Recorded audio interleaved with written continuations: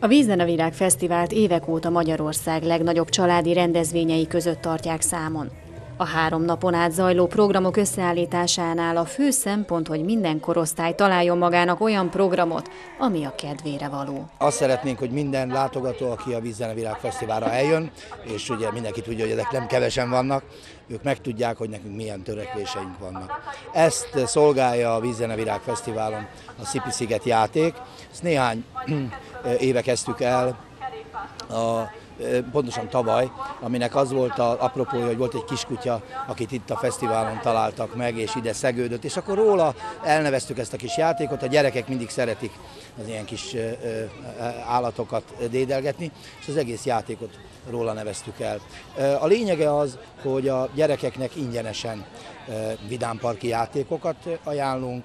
Szám szerint most ezen a fesztiválon 8-at, eredetileg 9 lett volna, de nagy hőségre tekintettel egyet, ami nem időjárás barát, azt kivettük, úgyhogy 8 játékból 6-ot kell legalább hát teljesíteni a gyerekeknek ahhoz, hogy azt mondják, hogy na ezt akkor ez egy szép munka volt, akkor ezt teljesítettük, kitölthetik a hozzáadott kis menetlevelet, és akkor ezzel egy sorsoláson is részt vehetnek. A játékokat úgy igyekeztünk elhelyezni, hogy lehet látni hogy árnyékos helyen legyen, tehát jól játszható legyen a gyerekek számára, ne legyen megterhelő, egy helyen legyenek, a zsufit azt a gyerekek nagyon szeretik. Néhány méterrel van kialakítva az a kis tér, itt a játék kellős közepén, ahova ezt a menetlevelet be kell dobni. A szervezők szerint sikeresnek könyvelhető el a 23. Vízzenevirág Fesztivál.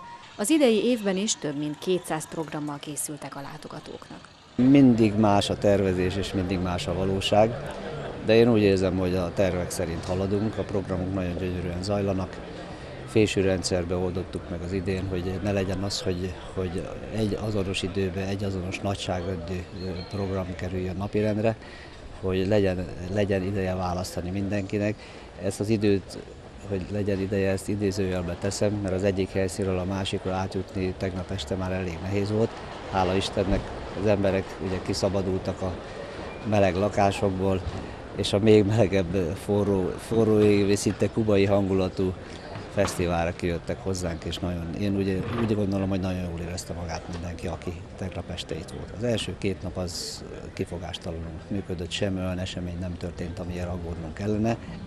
Nekem ez is nagyon fontos, nem csak az, hogy, hogy nagyon jól érezze magát mindenki.